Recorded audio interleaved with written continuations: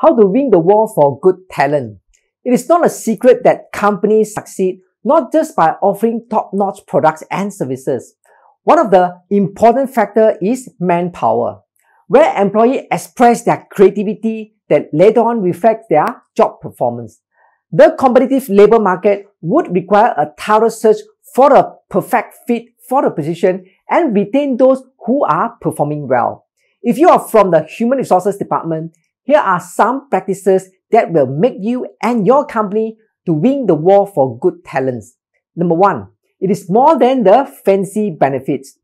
Google is known to have some of the best offices in the world, that it even includes a slide inside the office. More than just having a fun environment, it is important that a company express its culture. Most employees nowadays prefer working for a company that has a clear path towards success rather than having fringe benefits. The company should be able to answer the employee need for supportive senior management and equal career opportunities. Number two, improving as an employer. A huge percentage of job seekers would consider how the company is as a job seeker.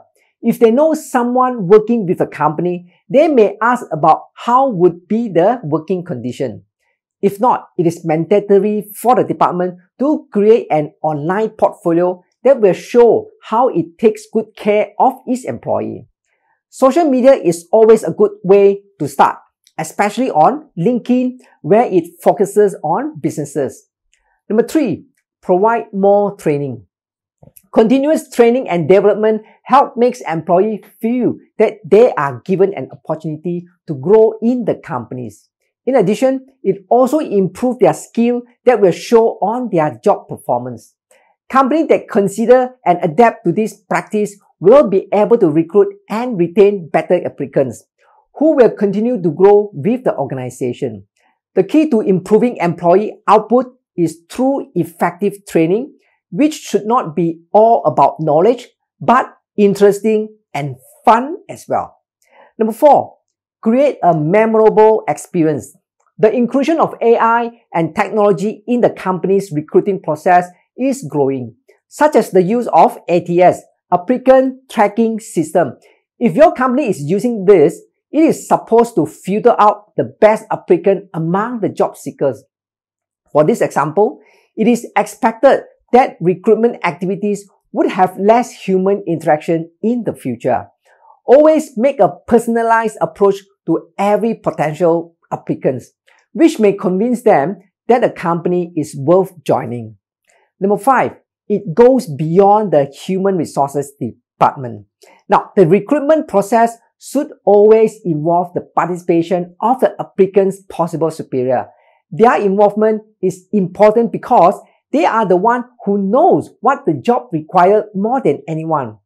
Managers know what they are looking for and what they are expecting from a new joiner.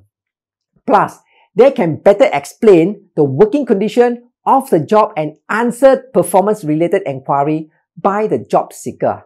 Number six, the value of social life in the office. The pandemic has obviously made work from home more popular than ever. If you have experienced it, you would agree that working in the comfort of your own home is truly rewarding. It gives employee more time to interact with family inside the house, less money spent on transportation expenses, and give more time to relax. However, working together inside the office allows employee to collaborate, socialize, and build trust.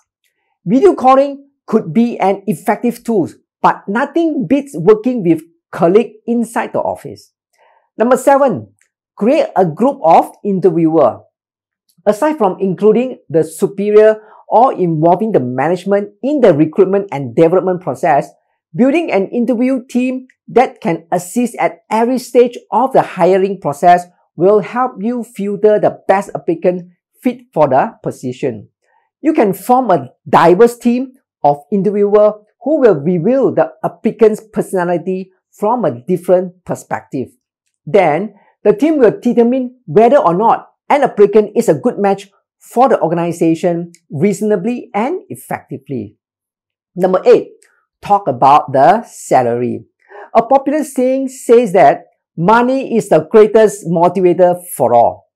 So if this is true, why so interviewer find it hard to open up about money? Don't be afraid to talk about the compensation package to applicants as it saves your time to proceed with the selection process if they end up uninterested in the offer. Doesn't it feel bad to finally found the perfect match for the role? Then the potential employee declines the offer because he or she found it too low or not enough. Make sure that you talk to applicants about the package in the early stage of interviews. Number nine, consider what the applicant feel. Job seekers usually prepare and exert an effort to know more for the position they are applying for. In return, the employer should respect applicants by valuing their time through updating them about the selection process. You can set a reasonable time frame that the employee should be expecting a response if they will continue with the hiring process or if they are not considered for the position. It gives a position, it gives a positive and lasting impression not just on the company but on the recruitment team as well. Make sure to also give out complete instruction to applicant so they will feel guided. Number 10, improving through feedback. Aside from asking applicant for their feedback regarding the recruitment and selection process, it is recommended to provide the details on why they did not get the position. It could be hard to explain, but use positive wording and you can talk broadly about it. This will give applicant an idea of what could possibly go wrong, but not with a straight to the face approach. And getting and keeping the best talent is a challenge to any employer. A lot of applicants have negative recruitment experience where it gives a bad impression to the company as a whole. Improve your employer brand today and see how applicants react positively whether they are hired or not.